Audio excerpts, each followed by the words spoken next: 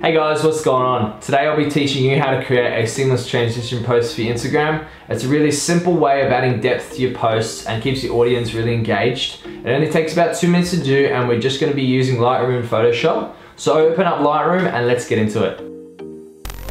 Okay, so once you have your image selected out, make sure to start with that it is a landscape image. If it's a portrait, we just need to scale that down. Come up to the crop tool here, and you just want to enter in a custom amount. Now, depending on how many slides you are wanting in your carousel post, uh, times the original width aspect ratio by two or three slides. So the initial ratio is four by five. So we just want to change the width, which is four. So if we want to do three slides, you enter in 12, 16, 20, and keep going upwards until you figure out how many slides you want to cut it across. The general gist of what most people do are just two or three. Um, not many people go over multiple slides unless they're doing like some sort of collage. This aspect, we're just gonna do eights, uh, eight by five. Um, this one never changes, the height never changes, always leave that at five. Now that's gonna give us a crop like this. I'm just gonna just crop it down a little bit more. Change it over, hit done. Uh, right click on your mouse or double click for a Mac depending on how you've set it up and come up to edit in Photoshop. Okay, so now we've got the image in Photoshop.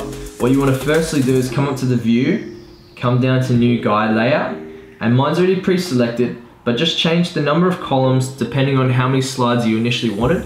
We just did two, but if you want four, it's gonna give you nice four equal slides here. Just click two, it gives us two nice four by five even slides. Now come up to the ratio tool up here, we just wanna do four by five. It's gonna give us our parameters. Slide it across to the first layout that you wanna use. File, export, save for web. Or you can click export. This one we're just gonna do, hit save, and just do crop one. We'll just save that to the desktop. Now, Command Z or Control Z to go backwards.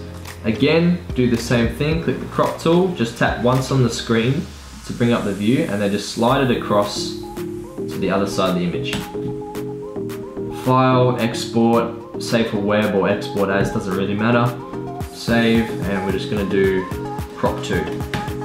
Okay, so once you have the photos sent across your phone, just hit new image. Now for the love of God, I have no idea where my photos are going that I just sent across. I've got 10,000 photos on my phone and they did not come up in my recents. So I'm just gonna use a collage that I actually can find um, that I shot recently from the same shoot.